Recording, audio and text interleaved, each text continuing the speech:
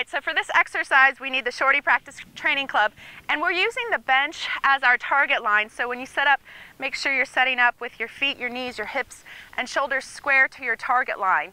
You don't want to set up pointing to the right or to the left. All right, so, so we're going to do a speed progression drill. And the idea is to do the position slowly to make sure you're getting all your positions, and then speed it up to make it more like a regular golf swing and ingrain it into your feeling so that you don't have to think about it when you go play or practice. All right, so set up as if you're going to hit. And the idea is to do super slow motion swings as if someone is videotaped your swing and they're showing it to you in super slow motion. So let's call this speed number one.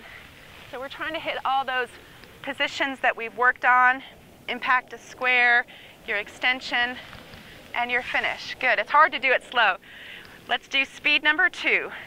So it's not like unlike speed number one, but we're trying to make each speed a little bit faster. Speed number three can have a little bit of a swish or a little bit of a lag to it.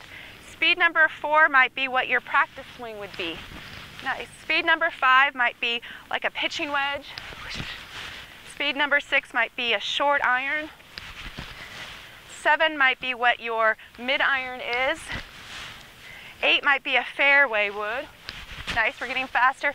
Nine is your regular speed, and 10 is just a little bit faster than you're used to swinging.